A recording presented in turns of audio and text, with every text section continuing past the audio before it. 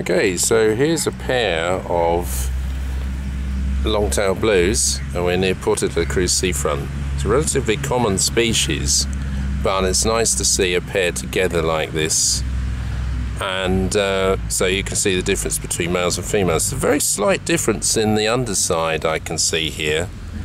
Um, you see the classic long tail and that white band near the outer margin and uh, it's a great great shot of a male and female together like this.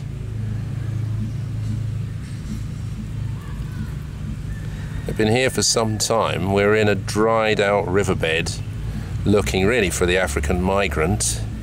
Still on the 19th of June 22 Puerto de la Cruz seafront and the north of Tenerife. It's much drier at sea level here as you can see from the the background has come out again from the background vegetation. This dried out riverbed in the town. And this goes down to the sea. Some flowers here so it's good for butterflies. We've seen the bath white in here as well which is quite nice but not a new species. You get common what uh, bath white on um, Tenerife as well. Um, I knew that the long-tailed blue was here. It's relatively common in southern Europe, but it's nice to see a male and female together like this.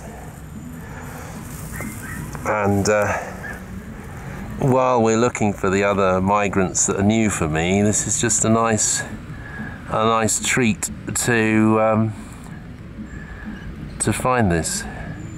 Okay, so male and female.